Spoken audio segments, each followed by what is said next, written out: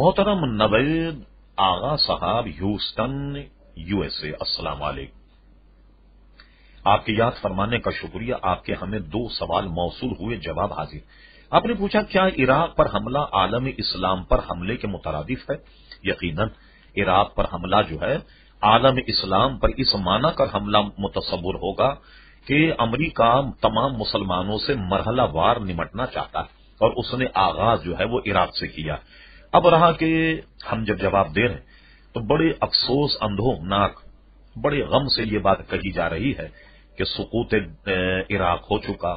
Baghdad کا سکوت ہو گیا، اللہ تبارک کا تعالیٰ وہاں کے مسلمانوں پر رحم فرما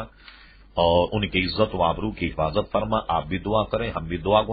پھر دوسرا آپ نے یہ پوچھا کہ عرب ممالک جنہوں نے امریکہ کا ساتھ دیا، کیا قابل تعلیم ہے یقیناً اللہ تبارک و تعالیٰ کے نزدیک وہ قابل تعلیم ہیں جنہوں نے ایک مسلم ملک کو غرق کرنے میں اور اس کو سر کرنے میں، اس کو فتح کرنے میں انگریزوں کا ساتھ دیا۔ یقیناً اللہ تبارک و تعالیٰ کے غیظ و غضب سے یہ نہیں بچ سکیں گے اور یقیناً یہ قابل تعلیم۔